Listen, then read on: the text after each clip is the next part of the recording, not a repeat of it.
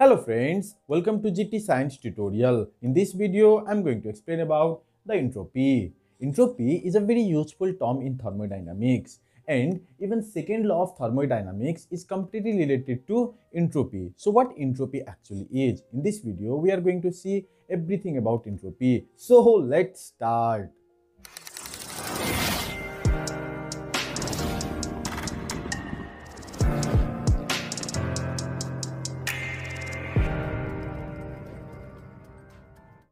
We know that all the molecules in the universe is constantly vibrating. That means they have certain randomness or disorderness in them. So the entropy is directly related to that randomness or disorderness. Entropy is the measurement of that randomness or disorderness of the molecule present in a system. Let me write that definition. Entropy is defined as defined as the randomness randomness or disorderness disorderness of the molecules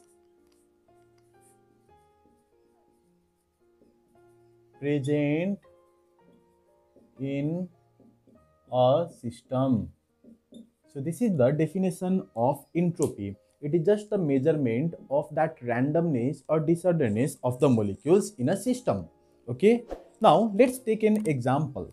Suppose I have a reaction like A converts to B, then B converts to C and C converts to D. This is a three-step reaction. Now for this reaction, there will be certain entropy changes. Entropy is denoted by, it is denoted by S. Okay, it is denoted by S. So for this step, there might be certain entropy change, right? That let us consider that by S1. For this reaction also the entropy change will be S2. For this reaction also the entropy change will S3. I'm talking about suppose this is S1, this is S2, this is S2, this is S3, this is S3, this is S4. Okay, so in this way from molecule A to D, the entropy keeps on changing in all the steps. So, the question is, will the entropy change depend on all the steps? The answer is no. Entropy is a state function. The meaning of state function is it only depends in the initial state and the final state. It does not depend on all the steps that it follows. So let me write that entropy that is S is a state function is a state function. That is it only it only depends on initial initial and final state final state initial and final state but does not depend on the process at all. Okay? Does not depend at the process at all. So this is what entropy actually is. Its unit is its unit is joule per mole per Kelvin or calorie per mole per Kelvin and it is sometimes written as EU uh, per mole as well. EU per mole as well where this EU means entropy entropy unit. EU means entropy unit and it simply means calorie uh, per Kelvin calorie per Kelvin is called entropy unit that is denoted by EU. So the unit of entropy can simply be EU per mole as well. So this is what entropy actually is. Now how does it, uh, how is it related to the second law of thermodynamics or simply how is it related to the heating energy of the reaction? So let's see that. Entropy is directly related to the heating energy of the reaction. The question is how?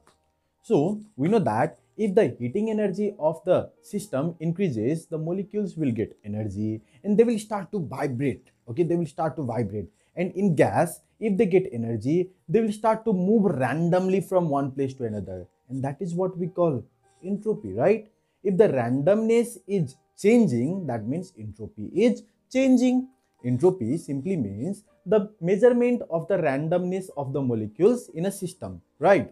So when it gets the heating energy then its molecules will start to vibrate randomly. Its molecule will start to move randomly as well. So its entropy will increase either increase or decrease. It depends on the heating energy. If heat energy increases then the entropy will also increase. If heat energy decreases the entropy will also decrease. So let me write that. According to thermodynamics sorry according to second law of thermodynamics second law of thermodynamics thermodynamics the entropy change the entropy change is is directly proportional directly proportional proportional to the heat energy heat energy change and inversely and inversely proportional to proportional to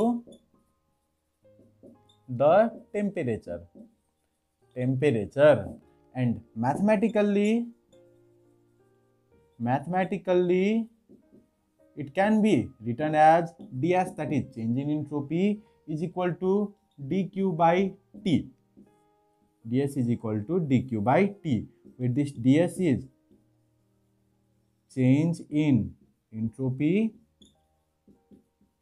dq is equal to change in heat energy heat energy and t is equal to uh, temperature. Temperature. That means in a system if it is getting heat energy its molecule vibrate more randomly so the entropy change will increase. That means what the second law of thermodynamics actually means and this is the mathematical form of the entropy. So this is what entropy and entropy change actually is i hope you understood everything about entropy. If you like the video please share this video as much as you can. And thank you for watching the video